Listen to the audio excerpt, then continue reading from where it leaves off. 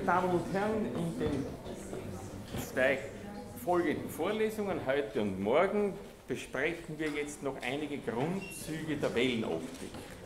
Äh, die Wellenoptik ist ein großes Gebiet und würde auch eine eigene Vorlesung rechtfertigen, so wie jedes der Gebiete, die wir behandelt haben, natürlich auch eine eigene Vorlesung äh, rechtfertigen würde, aber das ist halt dann eben die die Auswahl, die getroffen werden muss, dass Sie heute in den ersten zwei Semestern einen Überblick bekommen, der heute einigermaßen professionell ist, aber nicht überall in die Tiefe gehen kann.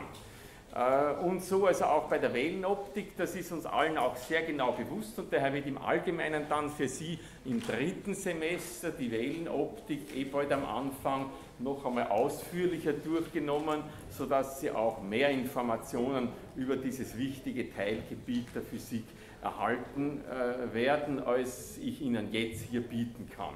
Also äh, die Wellenoptik haben wir am Anfang ja schon bei der Einführung in die Optik besprechen. Ich habe es da als Punkt 3.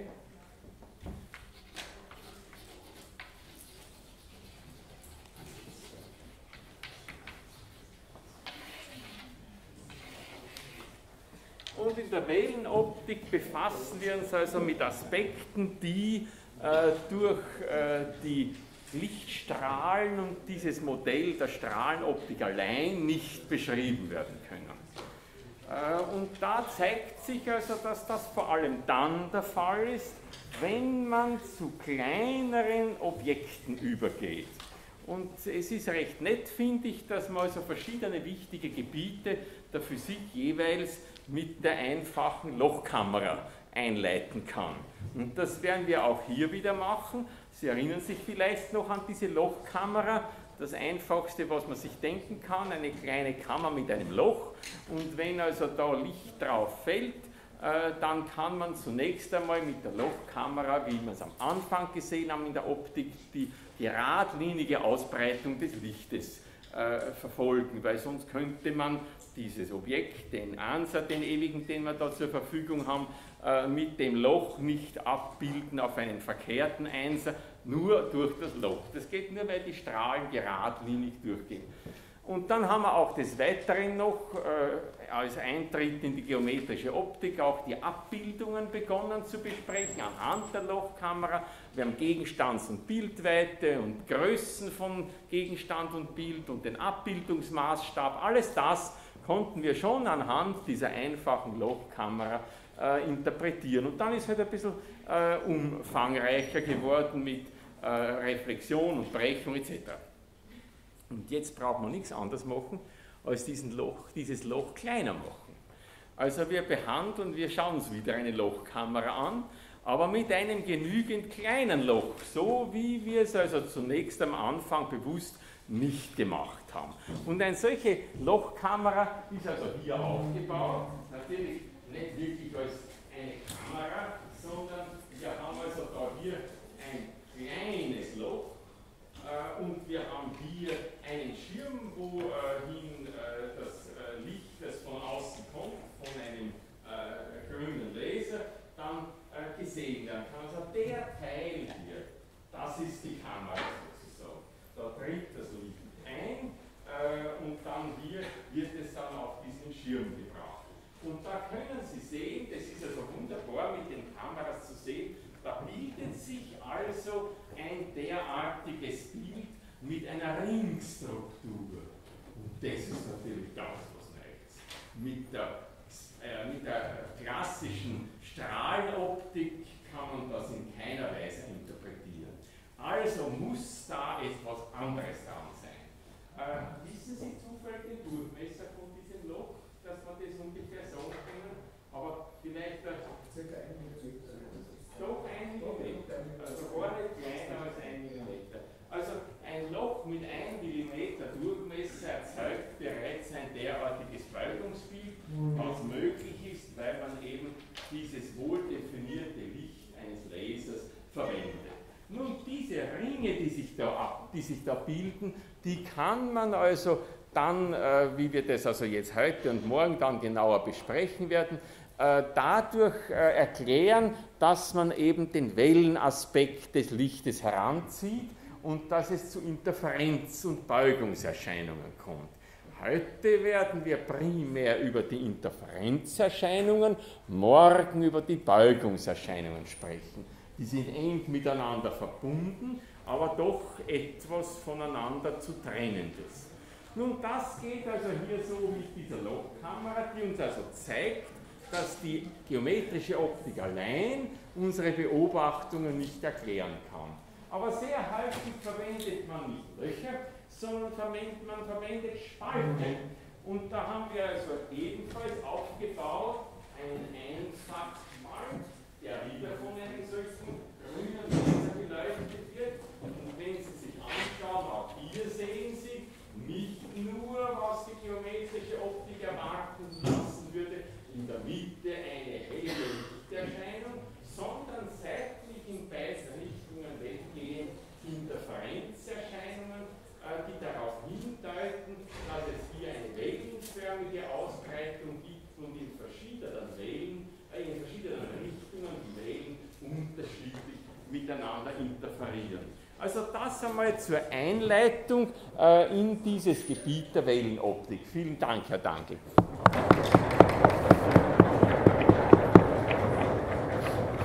Und jetzt erhebt sich natürlich als nächstes die Frage, wieso sieht man das nicht allenthalben? Warum sind nicht alle, die, die, die Tafel nicht mit lauter Interferenzstreifen versehen und wenn man auf die Wolken schaut, könnten die alle so streifig sein und die Lichter da oben und wenn da zwei Lichtquellen sind, dann könnte das alles von Streifen durchzogen werden. Eine ganz interessante Welt wäre das, die wir da hier sehen, aber so stellt sie sich uns nicht dar. Woran liegt das? Und das ist also damit im Zusammenhang zu sehen, dass die Beugungserscheinungen erst dann in Erscheinung treten, wenn die Objekte entsprechend klein sind, letzten Endes in die Nähe der Lichtwellenlänge kommen. Und das ist also bei den Objekten, die man hier so in der Alltagswelt hat, nicht äh, so unmittelbar zu sehen. Also es geht darum, dass man relativ kleine Objekte hat, dieser schmale Spalt, dieses kleine Loch, und dann äh, kommt es natürlich darauf an, dass äh, sich verschiedene Wellen miteinander in bestimmter Weise überlagern. Also äh, äh, die Dimensionen der Objekte ungefähr gleich der Wellenlänge. Na, da kann man als Vergleich den Schall hernehmen. Schall hat natürlich eine, aufgrund der weitaus geringeren Frequenzen, da sind es ja nur 400 Hertz oder sowas, während bei Licht haben wir 10 der 14. Also das ist ja ein gewaltiger Unterschied und dementsprechend unterschiedlich sind dann auch die Wellenlängen. Beim Schall ist es so, dass man eigentlich ständig mit dem Wellenbild auch zu tun hat, sonst könnte man ja nicht ums Eck hören. Also wenn da die Tür offen ist und da draußen im Vorraum ruft einer, dann hört man das. Dagegen, wenn beim Licht da draußen einer äh, eine Lampe einschaltet, dann sieht man vielleicht den Widerschein herin, aber man sieht nicht die Lampe direkt. Man kann zwar ums Eck hören, aber man kann nicht ums Eck sehen. Äh, und der Grund dafür ist eben der, dass die Wellenlängen so wesentlich unterschiedlich sind. Das ist der Grund, warum eben beim Licht dieser Wellenaspekt so lange eigentlich verborgen und umstritten blieb. Man hat sich also lang darauf nicht einigen können, ob man Licht überhaupt als einen Wellenvorgang auffassen kann oder nicht. Naja, und wenn etwas als Welle aufzufassen sein soll, dann ist das so, dass man also Interferenzerscheinungen äh, beobachten äh, kann. Und Interferenz, das bedeutet, dass zwei Wellenzüge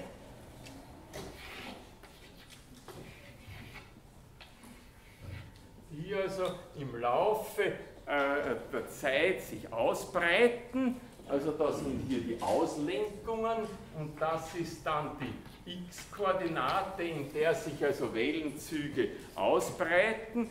äh, dass sich solche zwei Wellenzüge von zwei Quellen kommend entweder in Phasen gleicherweise ausbreiten oder aber in irgendeiner anderen Phasenlage. Wobei, wenn Sie sich also hier von zwei Quellen da hier kommend Phasen gleich ausbreiten, dann sprechen wir von konstruktiver Interferenz.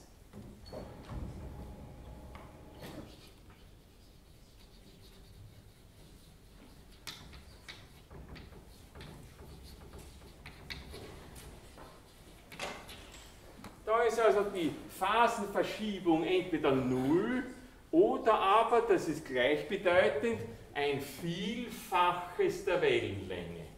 Denn das hier ist ja bekanntlich die Wellenlänge einer solchen Welle.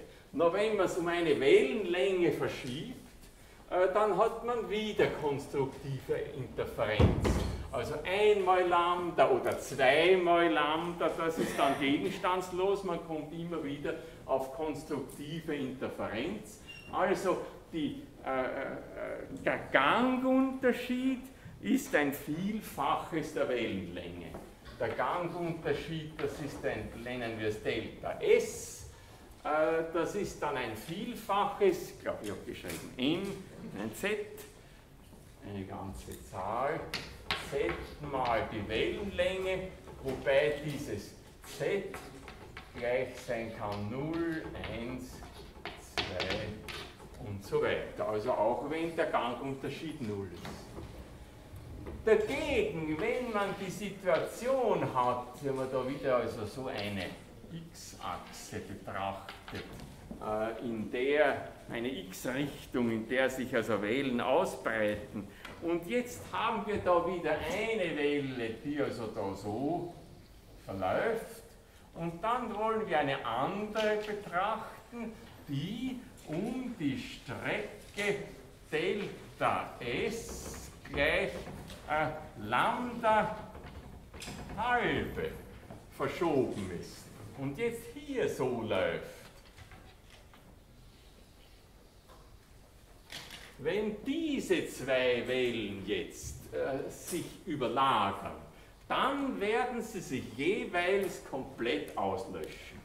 Also hier haben wir ein Delta S gleich Lambda halbe oder aber man kann natürlich auch äh, noch ein Lambda dazugeben. Also generell haben wir dann ein Delta S in der Form Lambda halbe plus Z mal Lambda oder Z plus ein halb mal Lambda.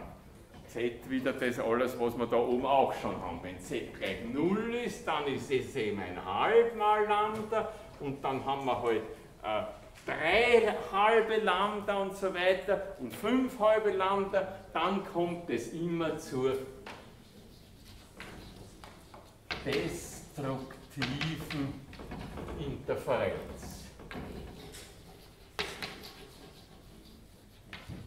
Dass sich zwei so Wellen, insbesondere auch Lichtwellen, überhaupt so ohne weiteres überlagern können, das liegt natürlich daran, dass die Wellengleichung und eben auch die Maxwell-Gleichungen, aus denen man ja für die elektromagnetischen und Lichtwellen die Wellengleichung erhalten kann, wie Sie wissen, eine lineare Differentialgleichung ist. Und daher Lösungen so beschaffen sind, dass lineare Kombinationen von Lösungen Widerlösungen sind. Also daher können sich also mehrere solche Wellenzüge auch linear überlagern und es kommt wieder ein physikalischer Wellenzug heraus. Und wenn die Überlagerung so ist, dass also, da, dass also gerade Vorzeichen verkehrt ist, dann löschen sie sich aus, hier verstärken sie sich. Das ist die Grundidee der Interferenz und das sollte man doch meinen, dass man also überall beobachten kann. Warum man das nicht überall beobachten kann, liegt daran, äh, dass das Licht, das man so alltäglich beobachten kann, in einer gar nicht so einfachen Weise entsteht. Nämlich meistens durch äh, Glühbirnen oder Leichtstoffröhren oder was wir da alles so besprochen haben. Und da entsteht, wie sich zeigt, das Licht typischerweise in Wellenpaketen oder wie man sich auch so denken kann, so Würmer, so ein, ein Lichtwurm entsteht da gewissermaßen. Also mal nichts, dann gibt es einen kurzen Elementarakt, wo äh, ein Licht, äh, ein, ein Lichtwellenzug ausgesendet wird und dann ist es wieder vorbei. Also äh, schaut aus wie ein geringelter Wurm, aber es ist natürlich etwas seriöser beschrieben, eben ein Wellenpaket. Solche Wellenpakete werden deshalb ausgesendet, weil, wie wir aus der Beschreibung, der quantenmechanischen Beschreibung der Atome und Moleküle wissen, Licht dann äh, dort immer emittiert wird, wenn ein Hüllenelektron von einem höheren Energiezustand in einen niedrigeren überwechselt. Dann wird also ein entsprechender Energiebetrag frei in Form eines Photons, über die reden wir übermorgen noch ein bisschen mehr, jetzt noch nicht. Und dieses Photon äußert sich, zeigt sich, kann beschrieben werden im Rahmen des Wellenmodells als so ein Wellenpaket. Und so werden also laufend so Wellenpakete ausgesendet, ein ganzer Schwall, eine ganze äh, Kanonade von solchen Wellenpaketen, aber die liegen alle unterschiedlich. Der eine Wurm und der nächste Wurm, die sind also nicht immer in konstanter Phasenbeziehung. Daher wird sowas in der Praxis des Alltages kaum vorkommen. Deswegen sieht man es auch nicht. Und man muss spezielle Vorkehrungen treffen, dass das dann eben auch tatsächlich sichtbar wird. Also worauf es ankommt, ist, wenn man also diese, äh, diese Interferenzerscheinungen beobachten können möchte, dass sogenannte Kohärenz vorhanden ist.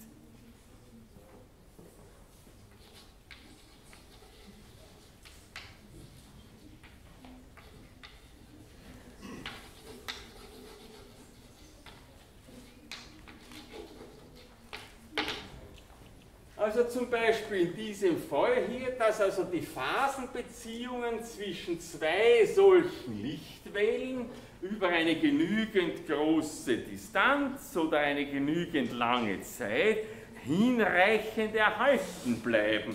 Denn wenn sich die ununterbrochen ändern, weil jetzt wieder das nächste Wellenpaket und dann da wieder ein anderes Wellenpaket kommt, während Sie sich das anschauen auf einem Schirm zum Beispiel, dann verwischen sich die ganzen Interferenzerscheinungen. Und das war auch der Grund, warum die Leute jahrhundertelang gestritten haben, was denn das Licht eigentlich ist. Weil man das nicht gescheit beobachten konnte. Und erst Mitte des äh, 18. des 19. Jahrhunderts äh, äh, hat man dann Experimente machen können, werden Sie dann gleich anschließend auch sehen, die das eindeutig belegen also, es kommt auf die, auf die Kohärenz an, dass eben die interferierenden Strahlen eine genügend konstante Phasenbeziehung haben. Interferierende Wellenzüge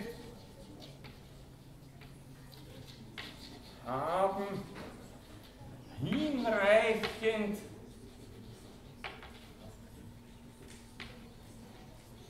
hinreichend konstante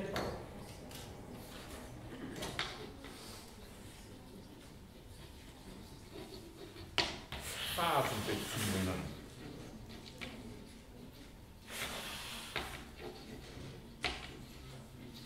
Aber was heißt jetzt wieder hinreichend konstant?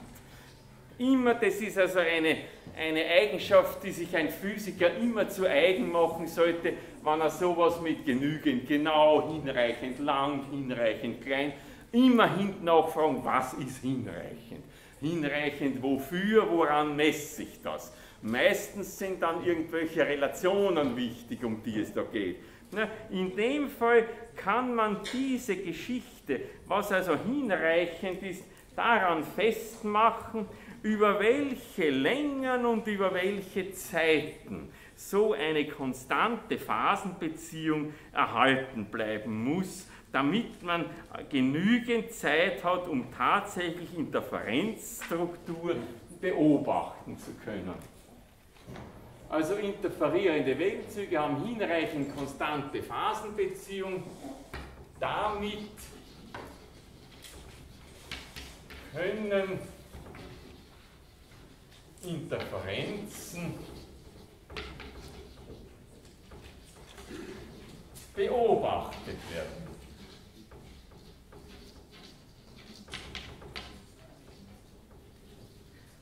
Nun, um das jetzt etwas näher zu quantifizieren, wollen wir verschiedene Kohärenzgrößen einführen. Die wichtigste Kohärenzgröße ist die Kohärenzzeit.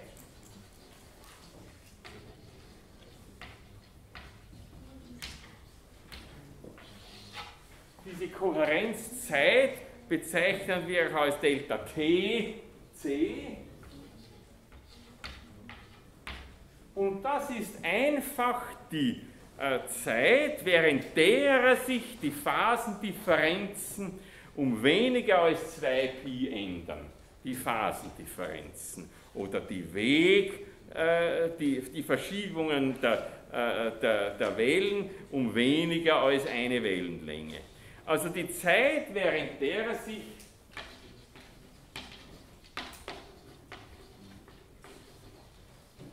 während der sich die Phasenbeziehungen, die Phase, das ist immer der, das Argument des Cosinus. Cosinus Omega t minus Karma x. Dieses Omega t minus Karma x, das ist die Phase. Deswegen ist das auch was Dimensionsloses. Deswegen kann man sagen, äh, Zeit, während derer sich die Phasendifferenzen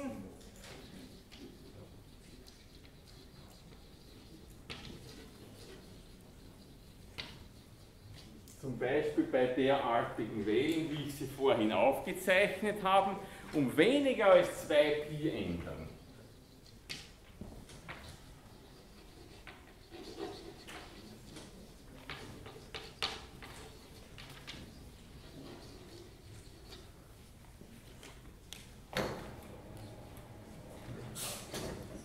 Anschaulicher als diese Kohärenzzeit ist aber dann die Kohärenzlänge.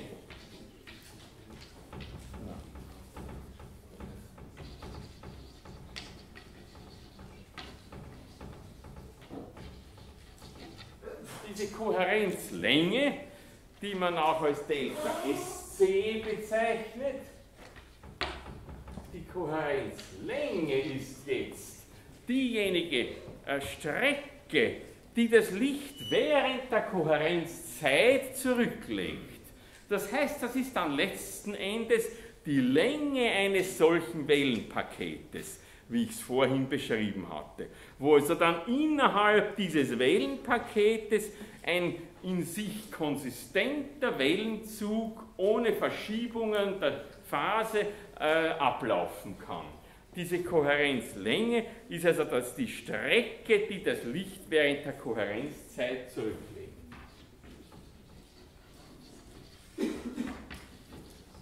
Die Licht während Kohärenzzeit zurücklegt.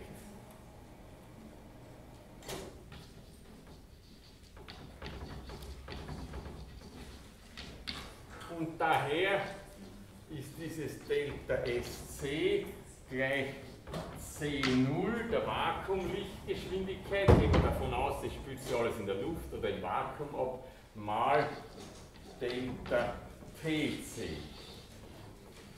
Und da kann man sich also noch eher als äh, bei den äh, bei der Kohärenzzeit etwas Konkretes vorstellen. Äh, wenn ich Ihnen also sage, dass so beim Licht, äh, das von einer normalen Glühbirne herkommt, diese Kohärenzlängen in der Gegend von Mikrometern liegen, sind sie bei hochwertigen Lasern in der Gegend von Kilometern.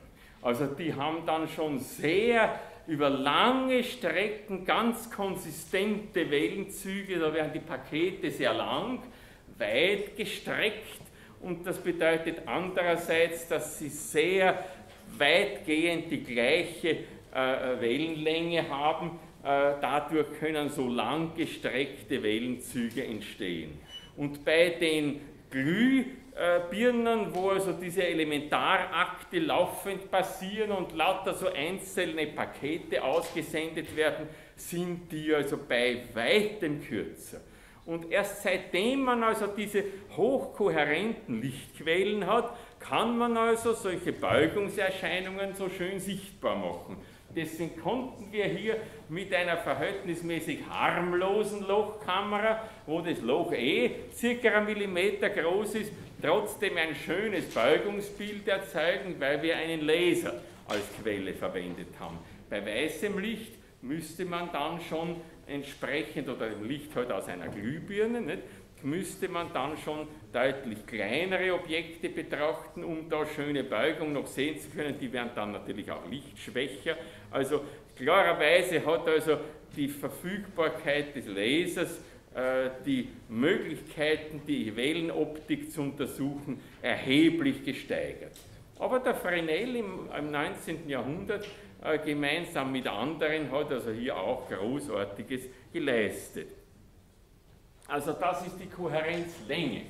Und auf die kommt es an, ob man also Interferenzerscheinungen und damit also das Wellenmodell des Lichtes bestätigen kann. Aber es ist nicht nur eine Länge, sondern Licht oder elektromagnetische Wellen durchsetzen ja den Raum äh, in drei Dimensionen. Das heißt, es ist zum Beispiel auch wichtig, wenn ein äh, Lichtwellenzug eine gewisse Fläche durchsetzt, wie sich die Phasenlagen beim Durchsetzen einer solchen Fläche verändern oder nicht, ob also über einen gewissen Querschnitt hinweg die Wellenzüge äh, zueinander kohärent verlaufen oder da schon wieder zwei unterschiedliche solche Würmer, sprich Wellenpakete, da äh, nebeneinander herlaufen und sie immer wieder andere Phasenbeziehungen haben, womit dann eben die Interferenz äh, halt äh, verwischt würde. Und daher betrachtet man auch die Kohärenzfläche und diese Kohärenzfläche das ist nun diejenige Querschnittsfläche, auf der keine nennenswerten Phasenunterschiede auftreten. Beim Durchsetzen durch eine Fläche.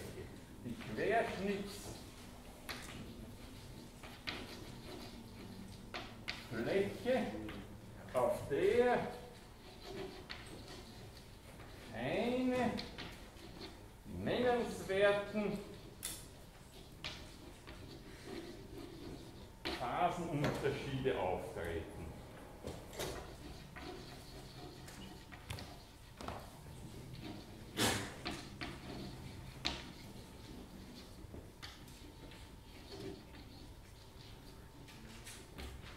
Und das bedeutet natürlich, dass eben die äh, Phasenverschiebungen, die dann auf seiner Querschnittsfläche auftreten können, klein gegen die Lichtwellenlänge sein müssen damit also man dann immer noch davon ausgehen kann, dass diese Wellen zueinander in konstanter Beziehung äh, sich ausbreiten werden.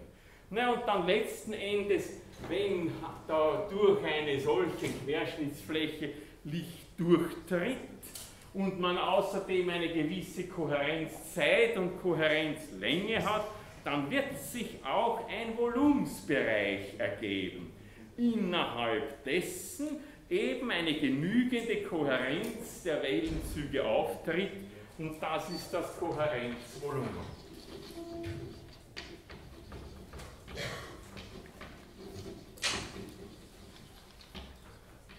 Also das brauche ich jetzt nicht mehr so genau aufschreiben, das ist Ihnen klar. Die Kohärenzfläche, die haben wir mit FC noch nicht bezeichnet.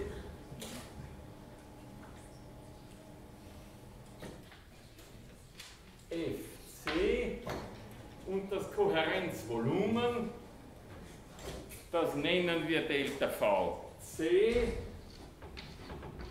Das ist dann natürlich gleich dieses FC multipliziert mit Delta SC. Also die Kohärenzfläche mal der Kohärenzlänge ist dann dieses Kohärenzvolumen. Also auf diese Art und Weise hat man die Möglichkeit, den Aspekt der Kohärenz äh, entsprechend zu quantifizieren. Naja, und weil eben unter Alltagsbedingungen die Kohärenzlängen nur einige Mikrometer sind, wie vorhin schon erwähnt, und dementsprechend auch die Kohärenzfläche des Kohärenzvolumens sehr klein ist, konnte der Wellenaspekt lange nicht beobachtet werden. Und damit man ihn also beobachten kann, muss man sich Bedingungen überlegen,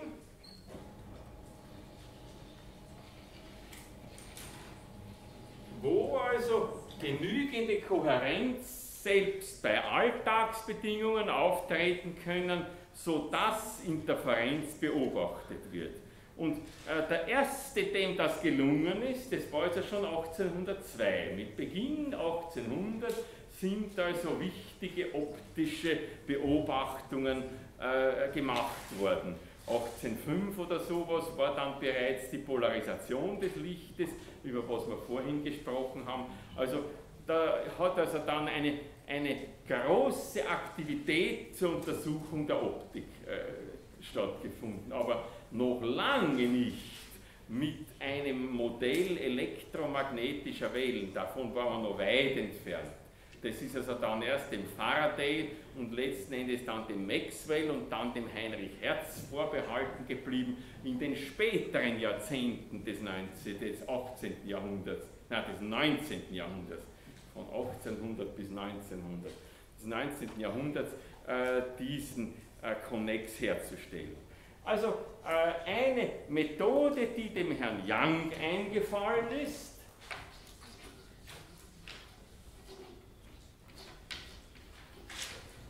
1802 war die, dass er sich gedacht hatte, ich betrachte einfach von einem Lichtwellenzug nur einen ganz kleinen Querschnitt, so dass ich hoffen kann, dass über diesen kleinen Querschnitt die Kohärenz doch noch einigermaßen ausreichend sein wird. Und das hat er gemacht, indem er einen Doppelspalt verwendet hat. Bei einem Doppelspalt ist es also so, dass man da zwei Spalte betrachtet, auf die also da hier Licht einfällt. Und wenn man jetzt davon ausgeht, dass diese zwei Spalte nahe genug beisammen sind, er hat es halt probiert, dann entsteht dadurch praktisch die Situation, dass hier zwei nebeneinander befindliche Lichtquellen vorhanden sind, die dann eben, weil die nahe genug beisammen sind und man davon ausgehen kann, dass dieser Lichtwellenzug, der da auftritt, über diese Distanz noch einheitlich sein wird, die dann daher kohärente Lichtquellen darstellen entsprechend dem Heichens-Fresnelschen Prinzip, wo ja dann von hier aus man davon ausgehen kann, dass da so in Form von Kugelwellen äh, da Licht ausgesendet wird und wenn das also nahe genug besammen ist, dann kann man hoffen, dass also das genügend kohärent sein wird, sodass man auch Überlagerungen sehen kann. Und dieses Doppelspaltexperiment das wollen wir also jetzt uns konkret anschauen.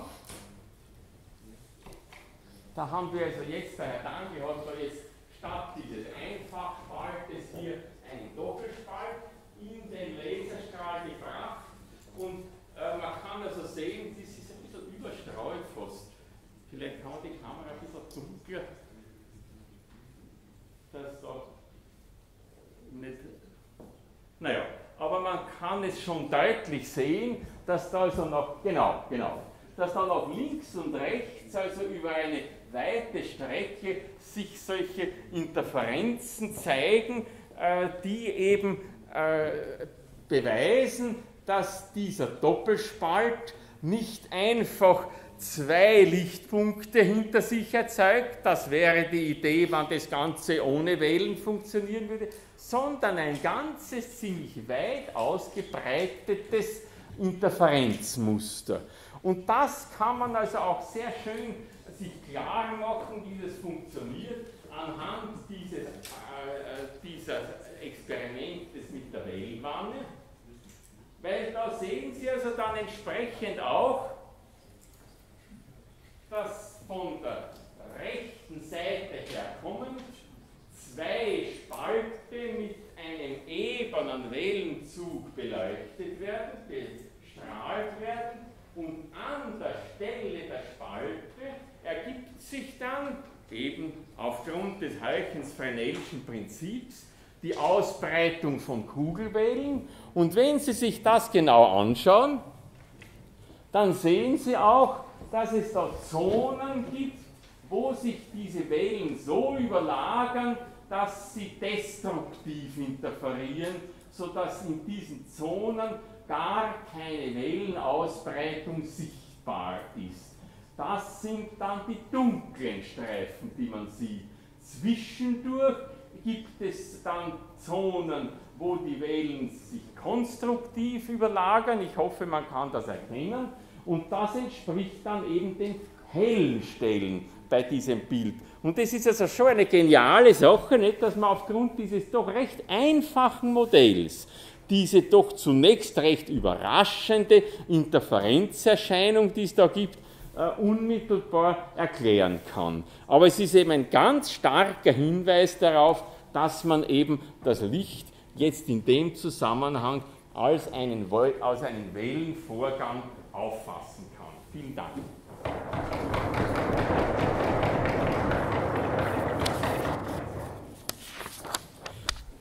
Also um das hier noch einmal zu illustrieren, man betrachtet hier also eine Lichtquelle, in dem Fall war das ein Laserstrahl, dann in genügender Distanz zwei Spalte S1 und S2, so finster wollte ich es jetzt eigentlich gar nicht machen, äh, genügt so auch.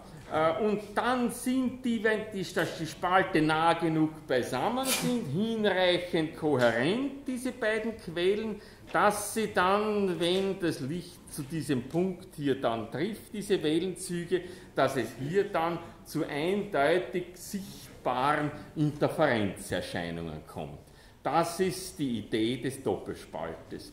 Übrigens, der Doppelspalt ist überhaupt für die Physik von größter Bedeutung auch zum Verständnis quantenmechanischer äh, Überlegungen äh, und Phänomene, was wir am Donnerstag dann nur mehr kurz ansprechen wollen, aber da werden Sie im Rest Ihres Studiums noch viel Bekanntschaft damit machen. Auch da ist das Doppelspaltexperiment sehr wichtig, weil sich eben zeigt, dass auch Strahlen von Teilchen wie zum Beispiel Elektronen Protonen, Neutronen auch Interferenzerscheinungen zeigen. Ganz was Komisches.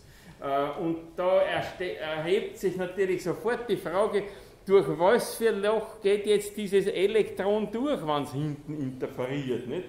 Das ist also auch ein Punkt, wo das Doppelspaltexperiment sehr wichtig ist.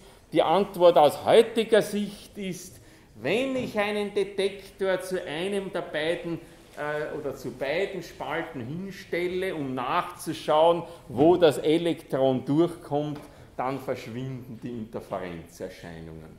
Wenn ich keinen Detektor hinstelle, dann bleiben die Interferenzerscheinungen. Die Quantenmechanik ist, eine, äh, ist eine, äh, äh ein Gebiet der Physik, wo der Aspekt der Information eine äußerst große Rolle spielt. Und äh, davon werden Sie also in weiterer Folge Ihres Studiums auch noch viel hören. Aber es ist schon beachtlich, dass also bereits in der klassischen Wellenoptik dieses Doppelspaltexperiment von großer Bedeutung ist. Und ich glaube, es ist schon ein äh, von Schrödinger erstmals gebrauchter Vergleich sehr nützlich, der davon gesprochen hat, dass das Verhältnis von klassischer Mechanik zu Quantenmechanik so ähnlich aufzufassen ist, analog zu dem äh, Vergleich zwischen Strahlenoptik und Wellenoptik. Die Wellenoptik zeigt dann Interferenzerscheinungen, die mit klassischen Methoden nicht verstanden werden können, in völliger Analogie zur äh, Wellenmechanik, die auf Schrödinger zurückgeht und seine Wellengleichung, seine die Schrödinger-Gleichung, wo eben auch dann Interferenzerscheinungen sichtbar werden, die in der klassischen Mechanik nicht erklärt werden können. Ein durchaus äh, äh, vernünftiger Analogievergleich zwischen klassischer Mechanik und Quantenmechanik äh, und Strahlenoptik und Wellenoptik. Also das zum Youngschen äh, Doppelspaltversuch. Naja, und äh, es hat also dann relativ lang gedauert, bis also, bitte. Entschuldigung, ich habe eine kurze Frage bezüglich der Skizze, die aufgelegt worden ist. Äh, man sieht, dass der Punkt, wo die beiden Strahlen dann wieder oder die beiden Wellen wieder zusammenkommen, nicht wieder ähm, entlang der Achsen. Ja, von hier aus treten die Wellenzüge in allen Richtungen aus. Und das bedeutet halt, dass gerade in dieser so. Richtung ein bestimmter Phasen, eine bestimmte Phasendifferenz auftreten wird, in einer anderen Stelle eine andere Phasendifferenz. Und wenn es dann in die Mitte hergehen, wird die Phasendifferenz null sein und sicher ein heller Fleck. Und auf die Art und Weise kriegen Sie in beiden Richtungen oder rundherum dann eben die Interferenzerscheinungen. Ja, okay. So ist das gemeint.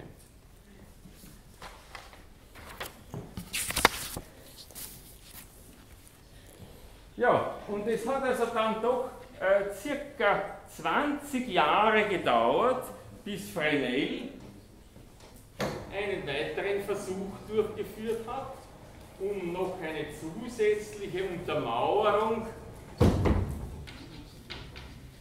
des Wellenaspektes zu bekommen. Fresnel, das war, die Jahreszahlen sind nur, um Ihnen eine Vorstellung zu geben, wie lange sowas braucht, nicht bis wir auf das drauf Nicht, dass Sie jetzt glauben, Sie müssen das auswendig lernen. Das eine, eine Geschichte der Physik da. Geschichte ist auch was Wichtiges, aber das ist nicht der Fokus unseres Interesses hier. Nicht? Aber Fresnel, das war 1821,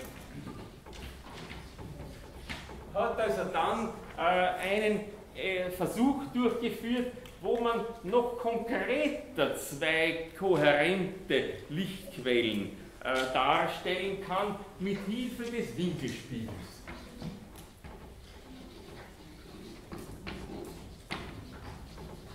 Den werde ich aber hier nicht aufzeichnen, sondern Ihnen gleich da bequemerweise äh, am äh, äh Digitalprojektor zeigen. Äh, die Idee ist hier die, dass man von einer Lichtquelle ausgehend zwei unter einem flachen Winkel angeordnete Spiegel trifft. Und das bedeutet dann, dass diese Lichtquelle einmal hier und einmal hier als virtuelles Bild gespiegelt auftritt. Also Sie sehen, da haben Sie dann eine virtuelle Lichtquelle und eine zweite virtuelle Lichtquelle. Das Spiegelbild jeweils der ursprünglichen Lichtquelle.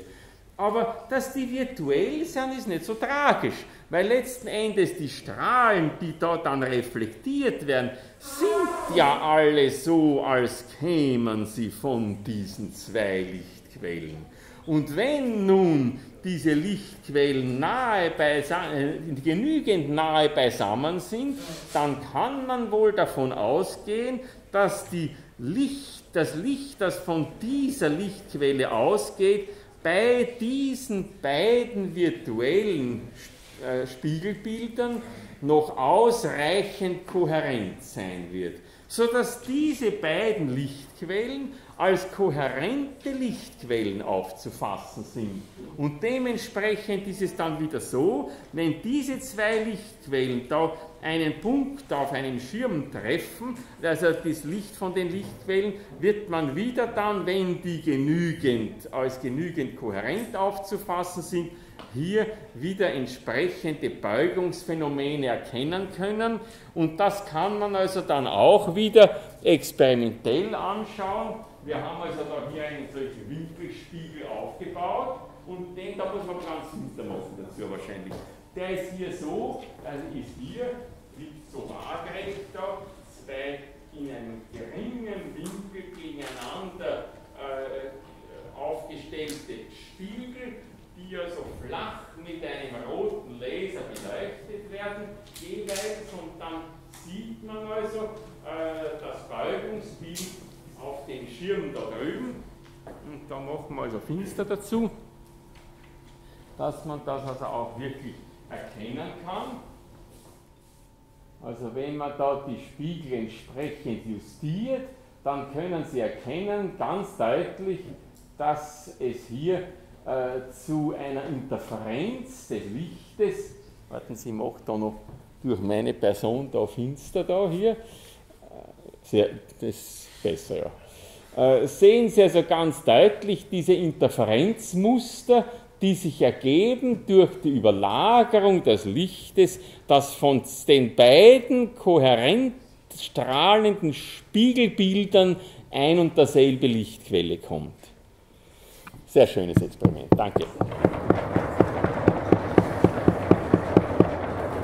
Und dem entspricht jetzt wieder bei dem Experiment äh, bei der Wellenwanne die zwei kohärent schwingenden Quellen, wo dann auch wieder beide Ausgangspunkte von Kugelwellen sind. Und ich glaube, man kann auch hier wieder sehr deutlich erkennen, jetzt sind es wirklich zwei äh, Strahlung, also zwei Wellenquellen, punktförmige Quellen, dass es da wieder solche äh, Zonen gibt der destruktiven Interferenz, wo da der Punkt, den ich vorhin gezeichnet habe, halt so liegt, dass der Gangunterschied gerade zu einer destruktiven Interferenz führt, während bei Punkten dazwischen der Gangunterschied so ist, dass es zu konstruktiver Interferenz kommt. Und dieses Auf und Ab der Intensitäten sieht man natürlich eben dann auf dem Schirm, wo dann ein solches Licht eben hingestrahlt wird, so wie wir es dort auf, diesem, auf dieser Leinwand gesehen haben. Vielen Dank.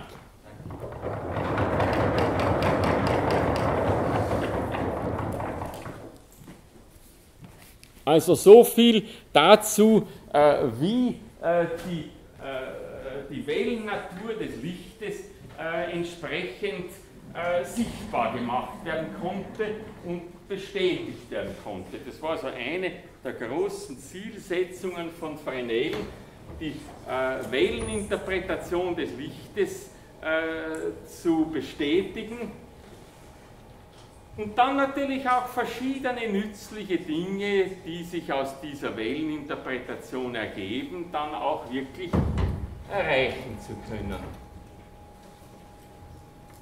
Äh, und da sind dann natürlich andere auch dazugekommen, die da daran gearbeitet haben. Und einer, der besonders wichtig äh, war im Bereich der Optik, war äh, der Michelson.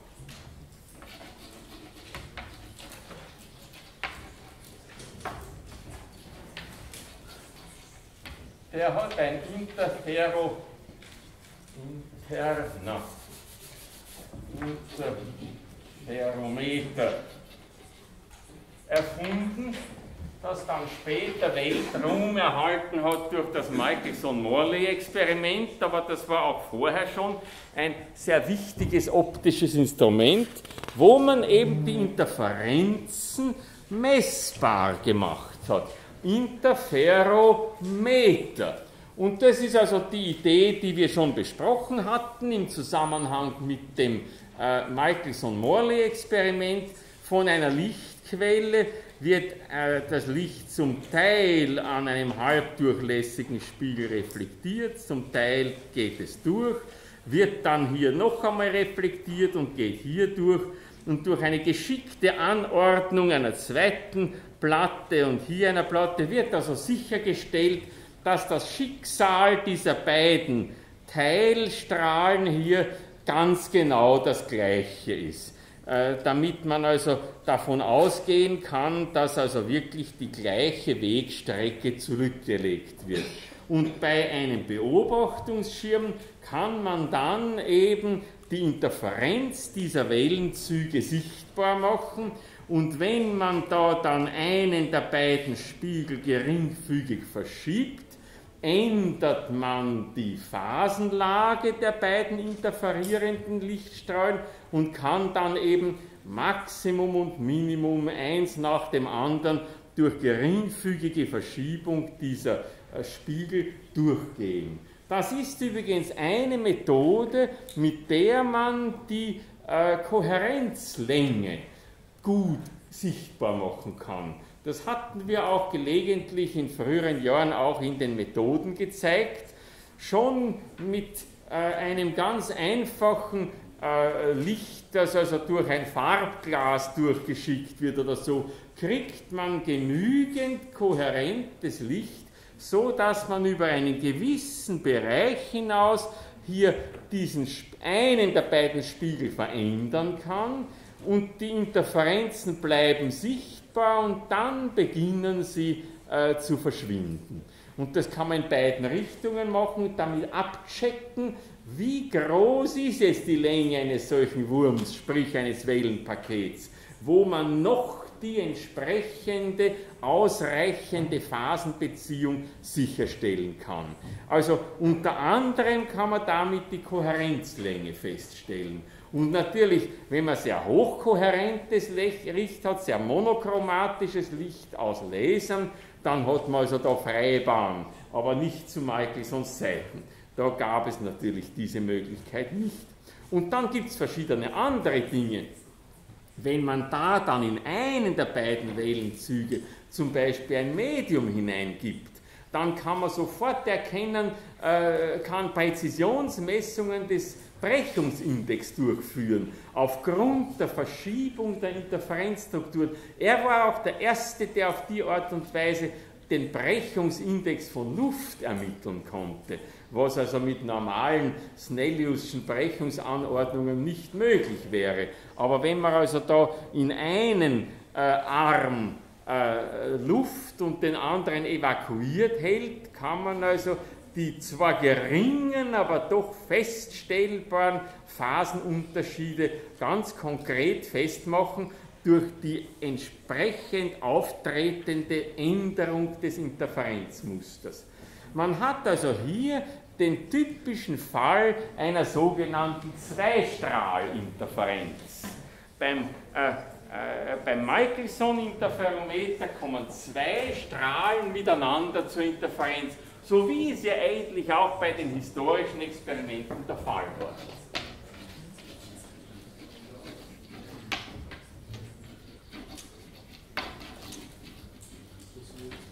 Und eigentlich sollte man meinen, naja, so ist es halt mit der Interferenz. Man hat halt zwei Strahlen, die interferieren miteinander und dadurch kann man also solche Interferenzen äh, feststellen und verschiedene nützliche Dinge messen. Auch kleine Längen kann man sehr schön messen hier, äh, indem man einfach abzählt, wie viele solche Hell-Dunkel-Veränderungen hier stattfinden. Da geht man da Halblänge, Wellenlänge mal und nächst halbwellenlängenweise mit diesem Spiegel heraus und kann damit auch kleine Distanzen beziehungsweise umgekehrt auch die Lichtwellenlängen genau bestimmen. Eine Vielzahl von Dingen, die man hier quantitativ mit diesem Michelson-Interferometer machen kann.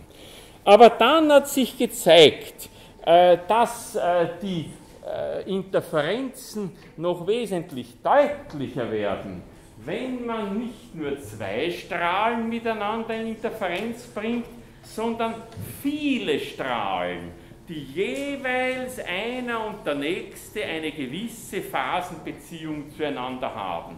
Und da beginnt die Darstellung der Interferenz etwas aufwendiger zu werden. Die, die sich die Zeit nehmen wollen oder können, denen empfehle ich die Lektüre meines Buches, weil da haben wir also versucht, da drinnen diese Dinge in einer doch einigermaßen übersichtlichen Form, man muss nur was von komplexen E-Potenzen verstehen, aber das haben sie inzwischen, äh, darzustellen, wo sich dann zeigt, das lässt sich aber nicht wirklich so gut popularisieren, das muss man sich durchrechnen, dass es zu einer deutlichen Aufschärfung der Interferenz kommt, wenn man Vielstrahlinterferenz betrachtet.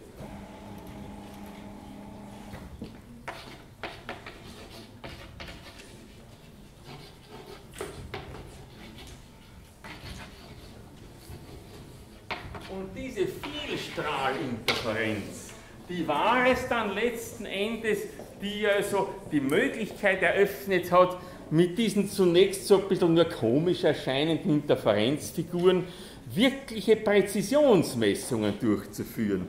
Also man lasse sich ja nicht dadurch entmutigen, dass die Dinge irgendwie nur so grob und halb, halbherzig ausschauen.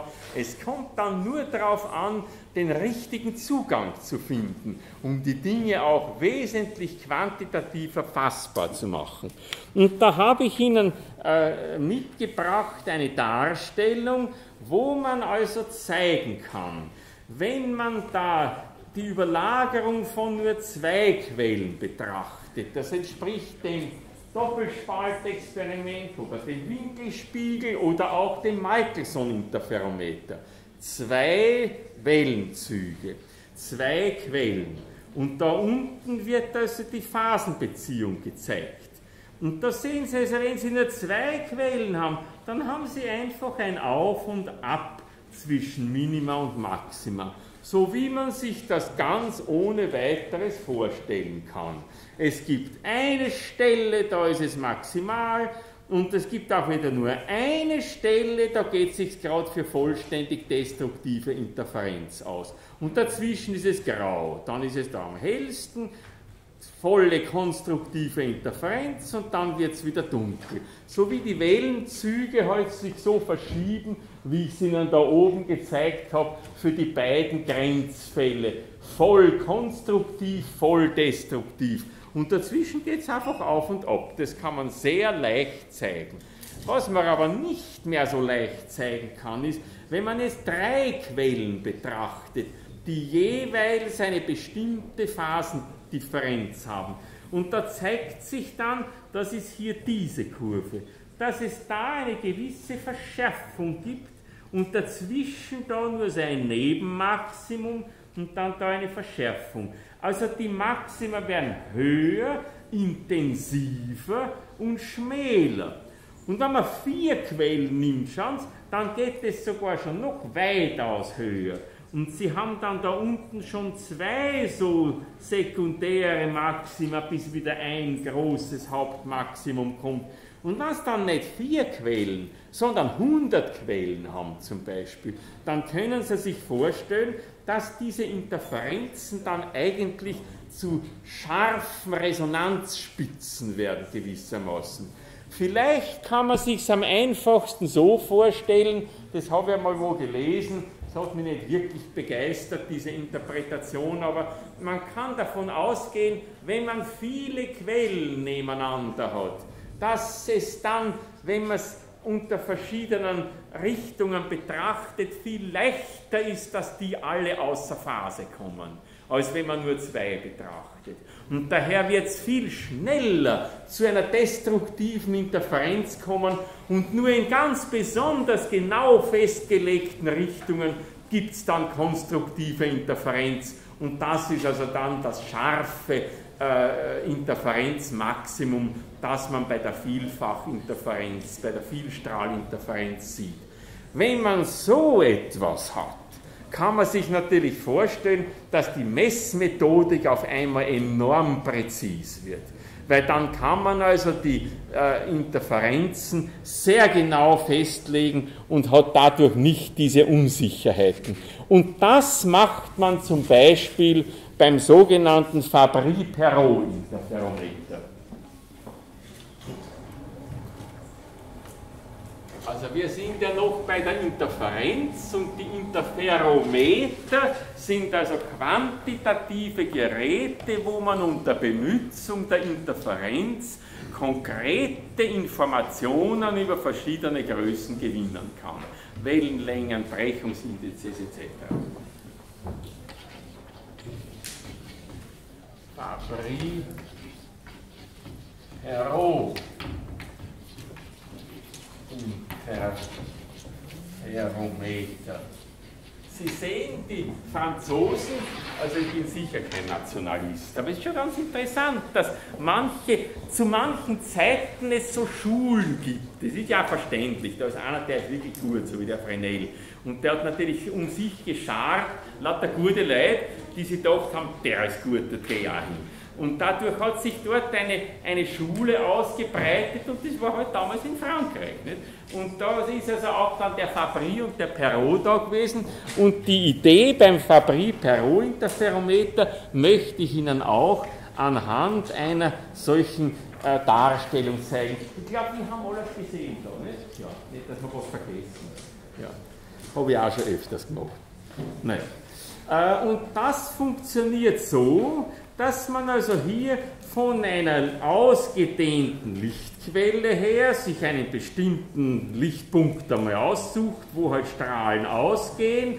Die werden dann hier parallel gemacht durch eine Sammellinse und so ein Parallelstrahlenbündel trifft auf ein Glasplattenpaar auf. Und jede Glasplatte verursacht einerseits eine gewisse Brechung, und eine gewisse Reflexion. Und wenn da dieses Parallelstrahlbündel unter einem gewissen Winkel eintritt, dann wird es sich bei einem bestimmten Abstand gerade so ausgehen, dass da einerseits im Wesentlichen geradlinig diese Strahlen durchtreten, aber hier auch reflektierte Strahlen dann sich mit dem wieder überlagern. Und das kann auch noch einmal reflektiert werden. Vielstrahlinterferenz, sodass dann je nach dem Winkel Theta hier bei bestimmter Distanz d hier sich das ausgeht, dass sie entweder konstruktive oder destruktive Interferenz haben, das kommt dann da parallel wieder heraus und wird mit einer zweiten Sammellinse auf einem Beobachtungsschirm wieder registriert. Und das geht natürlich so dreidimensional da jetzt rundherum und unter verschiedenen Winkeln. Dadurch ergibt sich auf dem Schirm ein Ringmuster. Ich möchte Ihnen die Details ersparen, weil wir wollen jetzt uns nicht ver verlieren in der, in der Wellenoptik. Aber Sie können hier sehen, wenn man da mit einem Winkel hereingeht, dann hat man hier eine gewisse Phase, eine gewisse äh, äh, Wegdifferenz. Das heißt, an dieser Stelle gibt es gerade eine Phasendifferenz und entsprechend eine Weglängendifferenz AB plus BC minus AD. Das kann man sich relativ leicht ausrechnen und kommt dann äh, zu einem Interferenzmuster, das also jetzt wieder recht unterschiedlich ausschaut. Da haben wir da den Cosinus dieses Winkels Theta, den ich Ihnen gezeigt habe. Und Sie sehen also bei verschiedenen solchen Winkeln gibt es Maxima und Minima. Hat man eine relativ schlechte Reflexivität dieser einzelnen Glasplatten, dann wird das nicht oft hin und her gehen. Das ist bald aus. Vielleicht auch nur einmal. Und dann haben sie wieder so was Sinusförmiges da, so was Langweiliges auf, ab, auf, ab. Mit der Abhängigkeit von dem Winkeltäter. Aber wenn dann eine der Glasplatten oder beide innen etwas mehr verspiegelt werden, dann geht es öfters hin und her. Zu sehr verspiegelt darf es dann auch nicht werden, weil ansonsten geht ja gar nichts mehr durch. Aber mit zunehmender Reflexivität hier beginnen hier die Einbrüche immer größer und die Maxima immer schärfer zu werden. Und da haben Sie also den Fall 0,95, da bleiben also dann schon ganz scharfe Maxima und über weite Strecken Dunkelstellen über.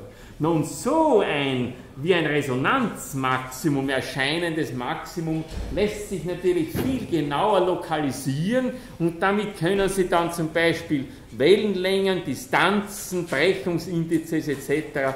mit weit größerer Genauigkeit ermitteln.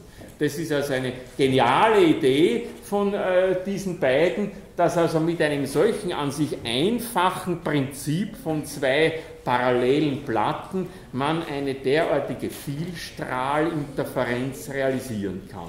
Also das ist genau die Idee, die ich Ihnen vorher mit den zwei, drei und vier Strahlen gezeigt habe. Da sind es halt dann vielleicht 20 oder 30 Strahlen oder noch mehr, die sich da ausgehen bei genügend großer Reflexivität, dass man so scharfe Resonanzpeaks und äh, damit äh, Interferenzmaxima sichtbar machen kann und dazwischen weite Dunkelbereiche. Also das ist der, äh, der, die Idee der Vielstrahlinterferenz. So viel möchte ich Ihnen in dieser Vorlesung zur Interferenz erzählen. Äh, und morgen wollen wir über Beugung sprechen die hat natürlich auch etwas mit Interferenz zu tun. Aber da werden wir insbesondere verschiedene äh, angestrahlte Objekte betrachten und was sich dann daraus für ein Wellensystem ergibt. Und da wird sich dann zeigen, auch dort spielt der Begriff der Vielstrahlinterferenz eine entscheidende Rolle. So viel dann morgen. Danke.